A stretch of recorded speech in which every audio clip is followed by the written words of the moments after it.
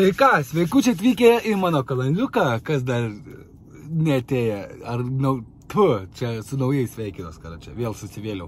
Tai va, kadangi yra Liepos 5 šiandien, aš vėluojas 5 dienas padaryti video, a, namie, kadangi buvau ir naktim dirbau, tai nebuvo kada, išvažiavau iš Vokietijos, bet kartu padarysim, pasitengsim padaryti greitą, kad daug neužimtų ir kad galėčiau įkelti. E, čia bus aktualų vairuotojams, tai va, kas vairuojat, e, pasilikit, nes nuo Liepos 1 dienos iki rūpiučio 31 dienos Vokietijoje Uh, yra autobanai, kurių negalima naudoti sunkvežimiu. Tai yra specialus žemėlapis, aš tą žemėlapį jums parodysiu. Mm, prisieksiu linką, kas kaip kur kame. Uh, tai važiuoti negalima nuo 7 val. ryto, čia šeštadienį, iki 8 val. vakaro. Ir tada nuo 8 val. vakaro, jeigu ten kažką kažką dar spėsit, tai iki 12-4 valandas galite važiuoti ir sekmadienį visi žinot, kad Vokietijoje važiuoti negalima, ir Austrijoje važiuoti negalima, ir Prancūzijoje važiuoti negalima, jeigu vežat nebent maistą gendantį.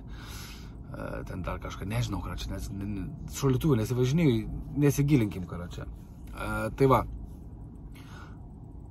žemėlapis atrodo taip, realiai man reikia pasiimti dabar internetą, paspaudžiu biškį pauzikę ir e, tuoj grįšiu. Na ką, tuoj šoksim e, į mano PDF, PDF, sakau, šoksim padėti, kaip atrodo tas žemėlapis. O žemėlapis atrodo taip, e, yra ir anglų kalba, dėja, dėja sakau, taipogi ir anglų kalba yra. Dar prisartinkim, aš tik tais internetą atjungiau, kad nesiurptų ir pasižiūrim, nežinau kaip gausis šiam. Va. Tai va. E, toks reikaliuks yra. Va, įblemba. Va. Gerai matos turbūt. Čia yra šių metų žemėlapis. Šių metų žemėlapis ir yra ir angliškai parašyta, ir prancūziškai yra parašyta. Čia matot, e, kur negalima važiuoti, paryškinta, šitaip žemėlapį pažymėti yra keliai, kur e, galima važiuoti, čia yra autobano žymėjimas, o šita žalė, šita žalės, čia yra būtent tas kelias, kuris yra um, M-Folin, net nežinau kaip išsiųsti lietuvių kalbą, jau patariamas. Jeigu jau labai reikia važiuoti, tai va šito keliu galima važiuoti. Nėra jie ten baisus, esu važiavęs, Bet aš važiavau su senu žemėlapiu, tai buvau užsirovęs ant kelio darbų, uždaryti keliai ir taip toliau, bet čia yra šių metų, tai, nu, tikėkime, kad viskas gerai. Čia, aišku, kroviniai, kurie pavojingi vandeniui yra, water polluting substances, nu jo, vandenį teršiančias priemonės. Čia aišku dars yra, čia kelio darbai. Nu davai, neriam tada mes į... Kur neriam? Niekur neneriam. Reikia internetą įsijungti, tėvai. Nieko nebus. Nes be interneto, interneto nėra. Ir aš kaip tik keliu video, tai man dabar su jais visą internetą. Tai tadelis vėl sėdės iki mėnesio galo be interneto. Nu, ką padarysi? Nu va, žiūrim, žiūrim, ne? Kas kur važiuojat, tarkim, Niedersachsen. O. Kodėl aš negaliu pasižiūrėti normaliai kaip žmogus žemėlapį? Aš šiaip ant telefono viskas gerai yra.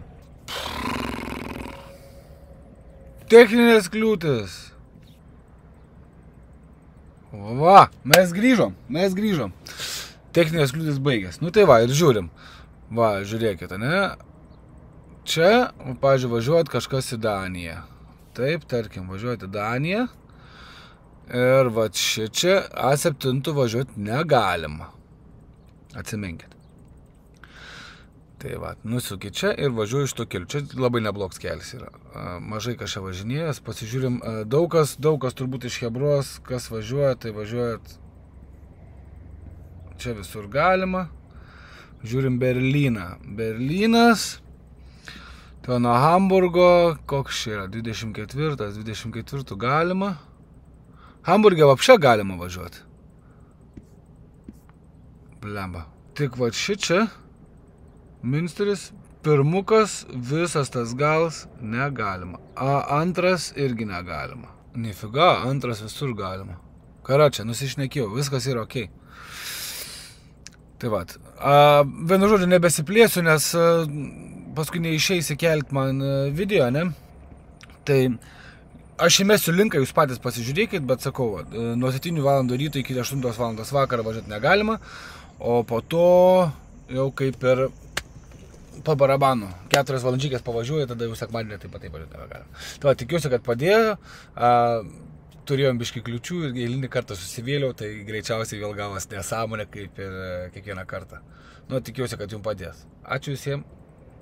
Geros dienos. Nepapulkit bagam ir policajam. Kaip sakant, neprisidirbkite aibių. Ir susitiksim kituose mano video. Ačiū visiems, kas žiūrėt. Iki.